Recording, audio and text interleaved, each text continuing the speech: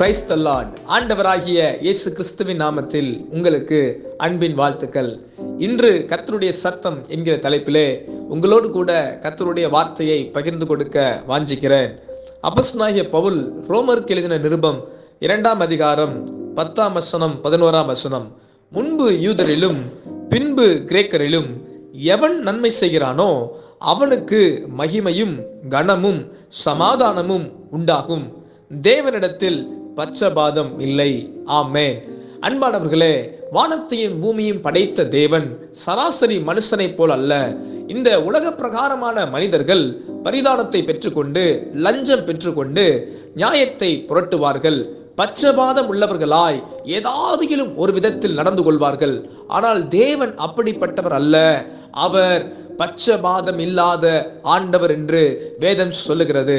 ஆதலால் எவன் நன்மை செய்கிறானோ அவனுக்கு தேவன் மகிமையும் கனத்தையும் சமாதானத்தையும் தந்து நடத்துகிறார் என்று வேதத்தில் பார்க்கிறோம். இந்த சத்தத்தை கேட்கிற அன்பானவர்களே நீங்கள் எப்படிப்பட்டவர்களாய் இருந்தாலும் நன்மை செய்கிறவர்களாய் காணப்படுவீர்கள் என்றால் நன்மையான காரியங்களை நீங்கள் விதைப்பீர்கள் என்றால் உங்களுக்கு தேவன் தந்த வாய்ப்புகளில் வாழ்நாளில் நன்மையானவைகளை நீங்கள் செயல்படுத்தி முன்னேறி செல்வீர்கள் என்றால் நிச்சயமாய் கத்தருடைய வார்த்தை சொல்லுகிற பிரகாரம் தேவன் உங்களுக்கு மகிமையையும் கனத்தையும் சமாதானத்தையும் தருவார் என்பதில் மாற்றம் இல்லை.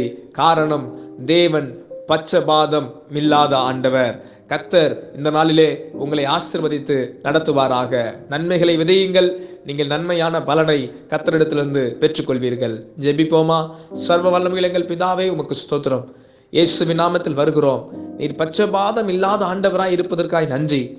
நன்மை செய்கிறவனுக்கு நீர் மகிமையையும் கனத்தையும் சமாதானத்தையும் தருகிறீரே. நன்றி ஆண்டவரே. இந்த சத்தத்தை கேட்கிற ஒவ்வொருவரும் நன்மை செய்து நன்மையான பலனை பெற்றுக்கொள்ள உதவி செய்யும். நீர் ஆசீர்வதியும் பொறுப்படுத்திக் கொள்ளும். இயேசுவின் நாமத்தில் செபிக்கிறோம் நல்ல பிதாவே. ஆமே காட் பிளஸ் யூ கத்தர் உங்களை ஆசிர்வதிப்பாராக.